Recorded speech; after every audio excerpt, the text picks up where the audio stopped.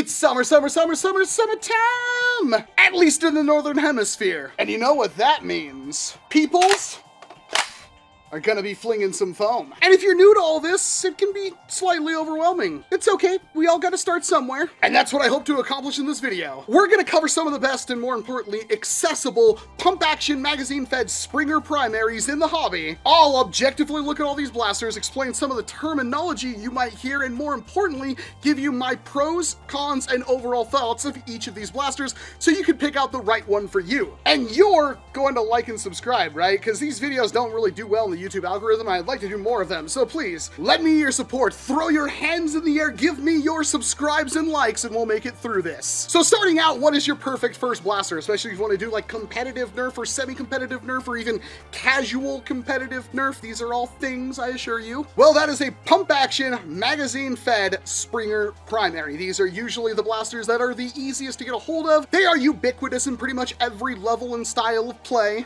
It is your bread and butter when it comes to flinging foam darts. Springers require generally pretty much no maintenance. Sometimes you gotta lube them, maybe fix parts that break, but that's about it. No batteries, no gas, no nothing, just your own willpower and a little bit of elbow grease. You can be popping foam darts downrange at some frightening velocities. You know, if your games accept that. And let's start with the most obvious. The most important thing to you is, well, what blaster you happen to gravitate towards the most, but second most important is the velocity cap of the game you're playing at. Stock Nerf about 70 FPS. Some other brands like Dart Zone and stuff like that can push up to 100 FPS out of the box, no issues whatsoever. That's our stock range, but there is super stock, and the range for that generally goes up to about 150 FPS.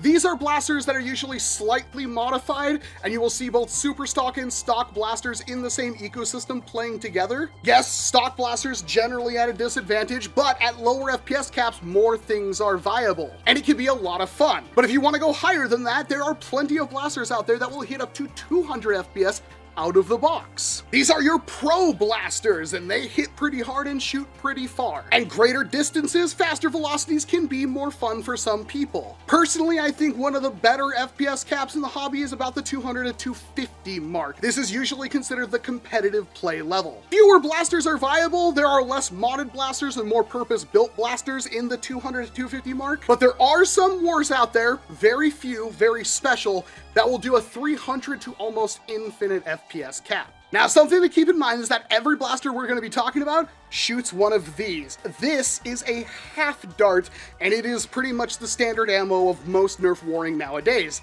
They are essentially the same as these kinds of darts, your standard full-length Nerf darts, but cut in half. And if you don't want to make these yourself, and I wouldn't recommend it, Worker, a company that specializes in hobby level blasters, produces their own darts that are pretty much considered the best in the hobby, and you can find them on various retailers like outofdarts.com. But if you're in a hurry, most Walmarts and Targets, at least in the US, will also carry the Dart Zone Max darts at Target or the Adventure Force Pro darts at Walmart. These darts are the same, slightly different weights, slightly different designs, and they will work pretty good. It is important to note that not every blaster will also shoot full-length darts and half-length darts, and to be fair, Half-length darts is superior to full-length darts in everything but compatibility. If you have an old blaster, that uses full-length darts, and that's what you want to use, that's what full-length darts are for. But everything going forward, just rely on half-length darts. You can carry more of them on you, they fly better, they fly farther, they're more active. It's literally better in every single way. Now, dart blaster velocity is measured in feet per second, or FPS,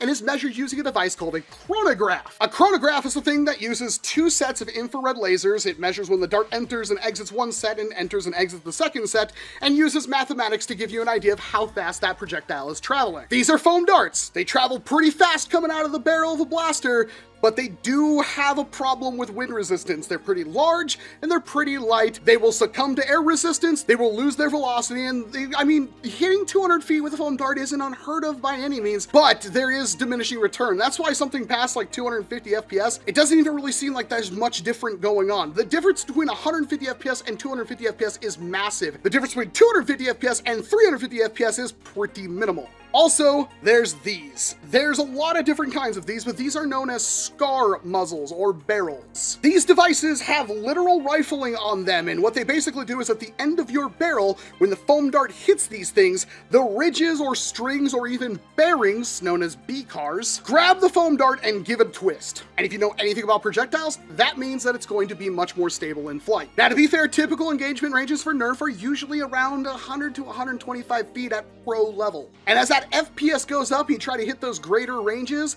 these are pretty much mandatory, and there's no one-size-fits-all solution for these ever. You pretty much have different ones of these for some different blasters and, more importantly, some different FPS caps. Most games and clubs run anywhere from 150 to 200 FPS, so having a 150 FPS blaster and a 250 FPS blaster, or more importantly, a blaster that can jump between multiple different FPS caps, is always a good thing. Let's also talk about magazines. Now, each one of these blasters will come with its own magazine, and those magazines can be compatible with other blasters, and sometimes it isn't. But there's one type of magazine that pretty much works in all of them, but like one option, and that is the Worker Mag. Buy these off Amazon, buy these from Out of Darts, buy these from a bunch of different shops, and they hold around 15 to 18 darts. It kind of depends on how much you want to smash in here. Standard magazine, pretty lovely. Worker also makes a curved Talon magazine, which holds 18 to 20 darts and is also pretty good. The Out of Darts Tachi mag is what you wanted to use if you literally want a melee weapon that doubles as a magazine. These things are long, but they also hold upwards of 30 darts. And there is an option for kind of a specialty equipment out of there with the Nerf Easy E or Create with Ezekiel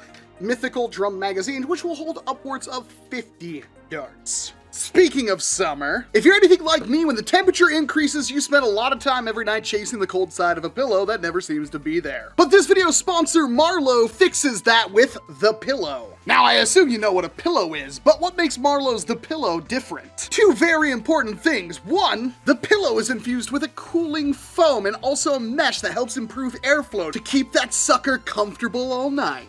And I can attest to that because this is my personal Marlow pillow that I've been using for about a month now. And two, perhaps more importantly, the fact is you can customize your Marlow pillow. Do you want it a little bit fluffier or do you want it a little bit more firm? Don't worry about adding or subtracting anything. All you have to do is zip your Marlow pillow and it will become bigger and fluffier. And if you want even more bigger and fluffier, you can unzip the other side and achieve maximum pillow fluffiness. And if it's too fluffy for you, just zip it back up. Not only is Marlow doing a 30% off summer sale that ends July 5th, but you can save an extra 20% by using my code down in the description below. And if you're on the fence at all, they offer a 365 day money back guarantee. So don't delay and check out the cooler side of sleep today. Now, of course, every blaster that I'm going to talk about today is pretty much functionally the same. They all work the same way, they all have very similar features, and they do have some stark differences, but we'll explain those similarities with our first choice, the OG Nexus Pro from Adventure Force, or in this case, Dart Zone, because Dart Zone made this blaster or the Adventure Force line at Walmart. And this is the blaster that put high performance foam flinging on the map for pretty much everybody. Us that live terminally online, we're buying parts from weird sketchy stores online or overseas and building our own. But this was one that cost a fraction of what all that cost and performed about the same, if not better. All the blasters we're going to talk about are going to have Picatinny style rails at the top, which is a real steel standard that will also work with most airsoft accessories and stuff like that, which means you can put like scopes, optics, and cameras and lights and all sorts of stuff on them. They're all going to feature pump action because that's just the most efficient way to prime blaster and fling foam dart downrange. It's not the best if you like other things like lever action, like a true connoisseur as myself, but they're pump action. They'll have probably a stock of some description and they'll have a magazine well. Sometimes they'll have a big gaping hole, which you have to put an adapter into in order to make it work with short darts. And yeah, they all basically function like this one. So what makes the Nexus Pro the best? Well, it's it's not, but it was the best for quite some period of time, and for a lot of people, this was your favorite, and this was the one that got you into what you're doing today with foam flinging. The Nexus Pro is cheap.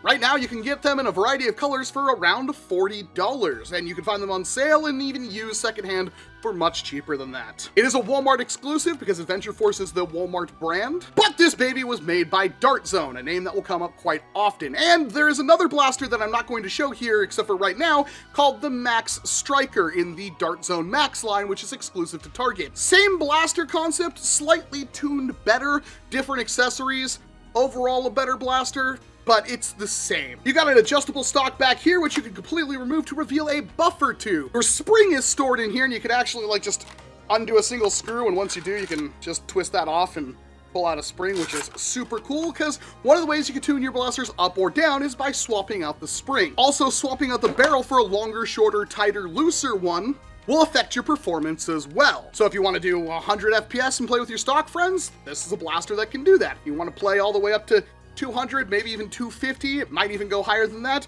it will also pretty much do that. So why is it the Nexus Pro the best? Well, because it's, first of all, got this disgusting slop right there, which it has in the design because it's meant to also shoot full-length darts, and it's not exactly a smooth prime, it's crunchy, it doesn't feel the best, and even though it was the first and it technically works fine, if you don't care about any of that, the Nexus Pro will do you really good. Yeah, you won't have any complaints. It's also not even the cheapest option anymore, but it is one of the original, and it's in a form factor that a lot of people love, and it looks pretty cool. My main gripe with this thing was the two-tiered uh, Picatinny rail. I, I, don't know why they did that, and I hated it. I wish they would have never done that. There's even quite a few custom aftermarket parts, replacing internals with metal. You can replace grips with 3D printed ones. Of course, you can change out the stock for whatever you want. There's a lot to love with this thing. However, you cannot, out of the box, easily put on a scar muzzle with this blaster, which is a shame because after about 150, 200 FPS, you're going to want to put a scar muzzle on it. And this one, you have to pretty much swap out the barrel and do some minor tweaking in order to get one to function on this. And it does not come with anything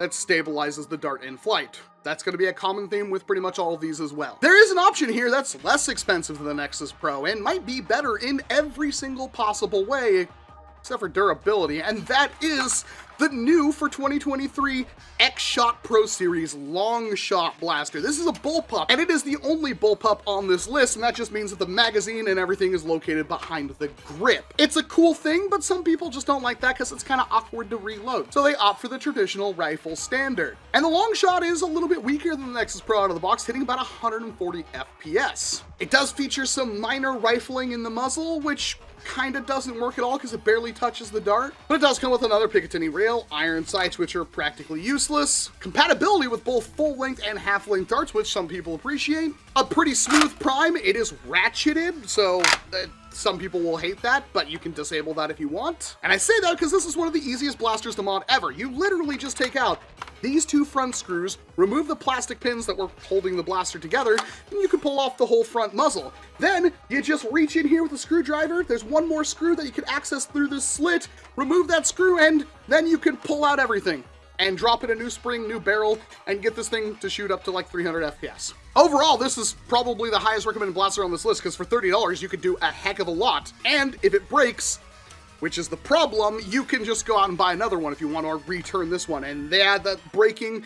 I've seen a lot of pictures now of the plunger tubes on these things breaking, probably because they have a hardened steel spring inside of them, and they're really thin, brittle plastic. Yeah, so if your X-Shot long shot broken that way, you're not alone. However, it's still so cheap. It still looks so freaking cool, and it works so amazingly well it's kind of hard to hate it even if it currently does have a durability issue. And honestly, right there, that's pretty much where this video could end. I mean, it's a bullpup and you might not like bullpups, but for 30 bucks for the ability to drop in maybe another $20 in parts and get up to like 250 FPS is absolutely mind-blowing. That is a game changer in every sense of the word. And I should probably mention it has slam fire, and slam fire is when you can hold down the trigger, when you prime the blaster back, and then prime it forward, it automatically fires the dart, meaning you can increase your Gotta hate those sights. Which means you can increase your rate of fire. It has features that most other blasters in this list don't have. The one blaster that does feature slam fire is the Game Face Trion, a blaster that I am kind of smitten with. This thing just fits me like a glove and I really do like it, and I think it's one of the better blasters out there. It's just runs about $80. You can sometimes find it for cheaper though. I think I just saw it on like Walmart for like $67. Same thing, pump action, magazine fed, primary springer. It has a lot of customization options, and that can be fun if you don't want your game face Trion to look like every other game face Trion out there. For example, do you hate this thumb hole stock? Well, you can completely remove it. You can adjust the stock in a variety of different ways or completely remove this piece. And behind that, you've got Yes, a little thing that you can twist and remove not only the power spring, so you can adjust it up and down as well, but it also has spacers, which has more pre-compression, which increases the force of the spring. So you can simply remove these to get less power, or add them to get more power, or swap out the spring entirely and add these to do all sorts of different combinations. It doesn't require any tools to do that. And you can just simply remove this green plastic piece, which will remove your grip and the stock to expose a standard M4 buffer tube that you can add whatever stock you want onto it, and it's compatible with a variety of already existing grips. Like every single option but one, you can simply remove this priming grip to expose a Picatinny rail that you can put whatever foregrip you want on it. And the Trion features slam fire. Hold the trigger down, it fires as soon as I return the slide forward. That trigger is one of the nicest you can get in the entirety of the hobby. It is short, crisp, and beautiful, and the overall everything on this is super comfortable. This is one of my best recommendations. If you want something that is slightly nicer and you don't worry about going too far above 200 FPS, this is probably the blaster for you. In fact, I'm to say this is probably the blaster for most people out there. The Trion is, simply put, way too freaking good. Yeah, Trion, super awesome. Can't use full length darts, but you shouldn't care. We covered X-Shot, we covered Game Face, and now we're gonna cover Dart Zone. With the Dart Zone Pro Mark 1.2. Same features as everything else we've talked about, and uh, does use full length and half length darts, but they kind of fixed that disgusting slop, which I'm super happy about. It does feature a standard N-Strike buttstock attachment point, so it will work with all your Nerf stocks, and of course then you can put on their existing folding stock, which isn't here because they break.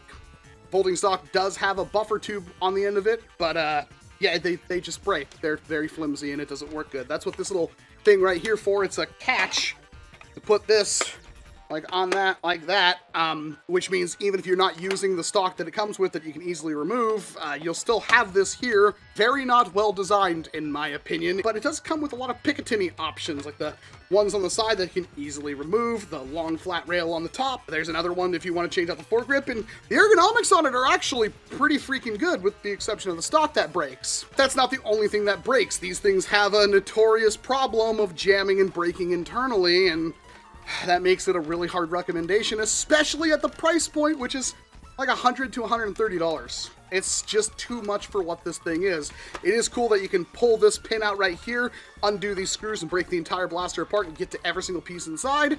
It's not cool that you need a screwdriver to remove this stock cap right here, which will allow you to then effortlessly change out the spring. So yeah, not very good, but don't worry, Dart Zone gets better. Like the ever lovable and freakishly huge Dart Zone Pro Mark IV, a brand new blaster for 2023. And this one is kind of a home run because it does a lot of really good things. Starting with the most obvious, the stupid long prime. This is the longest prime of any blaster we have right here, and that means it's got a lot of plunger volume, which means it generates a lot of airflow, which also means that, like, even with the lightest possible spring, you're gonna be hitting pretty hard, even though the Prime will be absurdly light and smooth. It has customization options where you can, you know, remove the front barrel and then you can remove this uh, thing right here and take out its included scar muzzle. A really nice feature which goes in the front right here and will stabilize your darts in flight, making it more accurate. But you cannot use the barrel extension, which increases your barrel length and thus your performance,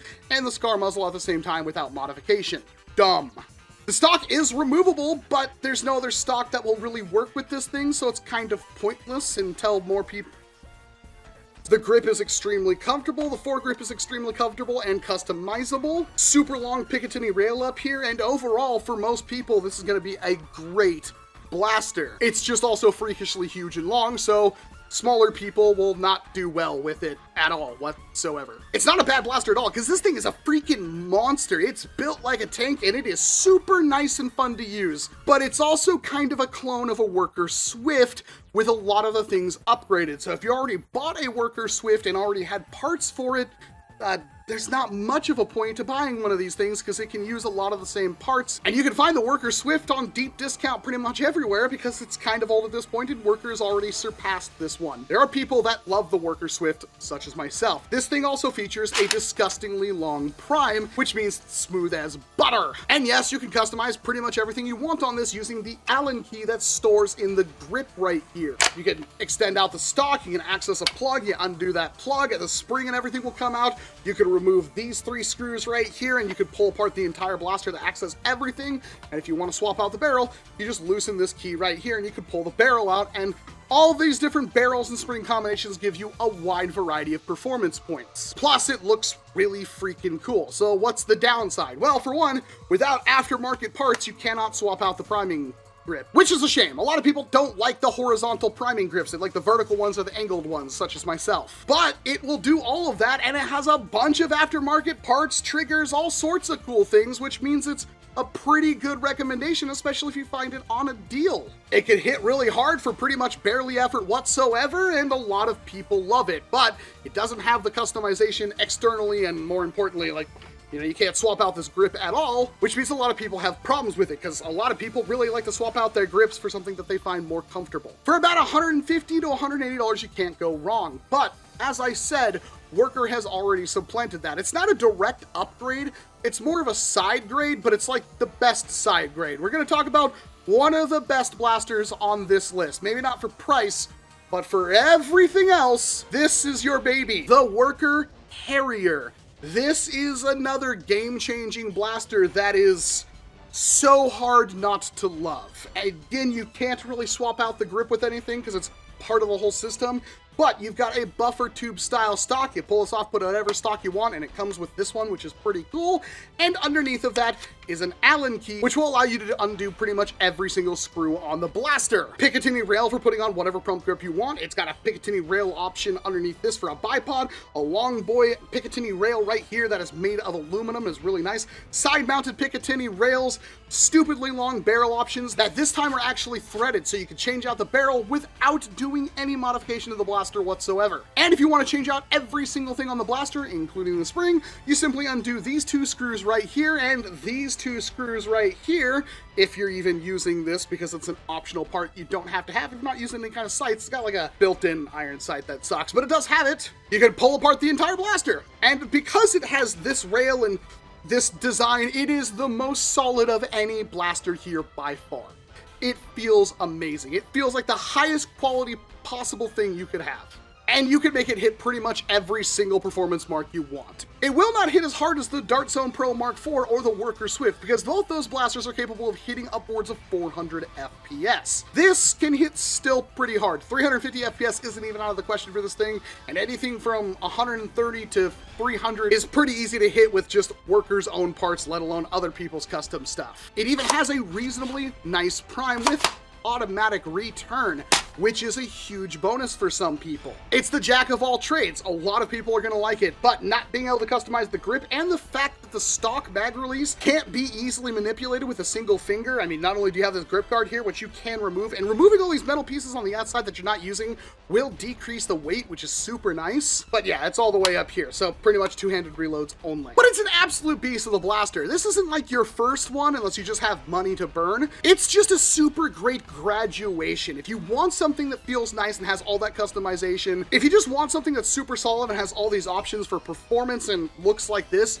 you can really do with a worker Harrier. It right now is pretty much the pinnacle of foam flinging, and there's gonna be a lot of fans for this thing down in the comment section below. It is one of the best. But if you truly want the best and a lot of options, but not all of them, you're gonna have to jack that price tag way up because we do have one more option that is, I will never recommend it to pretty much anybody, but if you just have money to burn and you want something that will fit this exact specification, this thing is pretty much unbreakable, and this is the Saber M20.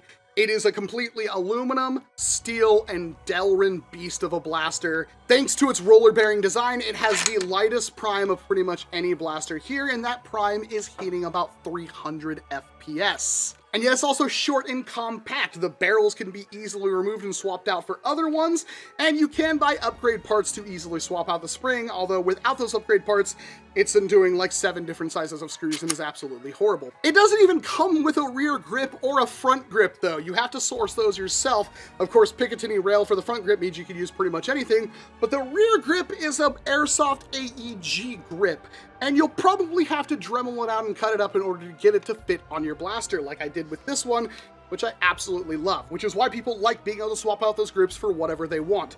This specific grip is the most comfortable one I have by far on any blaster. There are videos of people jumping on this thing. You can throw it out the window and it will probably survive. It is also super heavy. It is the heaviest blaster here by far. It is heavier than most firearms because it's just built like a tank. And yet, it's also not the largest blaster ever. It is just insane. It is super buttery, nice, good in practically every single way, but it starts at $650. And with things, minor upgrades like aluminum mag release, aluminum trigger, getting the plate that will easily allow you to swap out springs will cost you hundreds of dollars more. It's a good idea. It's a pretty good product. I'll never recommend you buy one. But if you absolutely have the money and want the best and you want to be able to tune this thing up and down to hit pretty much whatever performance mark you want with practically no effort whatsoever on your end, just a lot of money, the Saber M20 is probably your best bet. But I have assume that's going to only respond to about three of you people out there. So at the end of the day, what are the blasters that I recommend? Well, if you're just getting into this, like it's your first blaster whatsoever, you can't go wrong with the cheapest option. At $30 US, you can't really beat the Longshot. It's a super lightweight, super good blaster that has some minor durability problems, so your mileage may vary, but it's so easy to mod and you could make it do pretty much anything for such a low price, it's, you, you, I can't really not recommend it enough. The Longshot is probably the best blaster for those of you jumping in. It's also going to hit higher performance marks than something like the Game Face Trion, but if you only need to hit about 100 to 200 FPS because that's what your local games are at, the Trion might be the best for that option. It's a bit more expensive, but it is nicer in every single possible way. It's still a harder recommendation than the Longshot because they both have similar feature sets, but if you absolutely hate the bullpup stuff and you want something that's a bit nicer, I'm going to recommend the Trion full stop. And and of course, if you're one and done, you want one blaster that'll pretty much do everything, you've got the Worker Harrier. Seriously, this blaster is built so much better than any other blaster here, with the exception of the Saber M20, that I can't really not recommend it enough if, if you have the money for it. I mean, you will be spending more money on getting aftermarket barrels and springs and any other addition you may want. But out of the box, you get so much value for your money, and this thing is just so nice and pretty much the middle of the road perfect for every single thing you could possibly need in foam flinging. Yeah, the Harrier, it's the more expensive option here at around 180 to $200, but I cannot recommend it enough if you're willing to spend that kind of money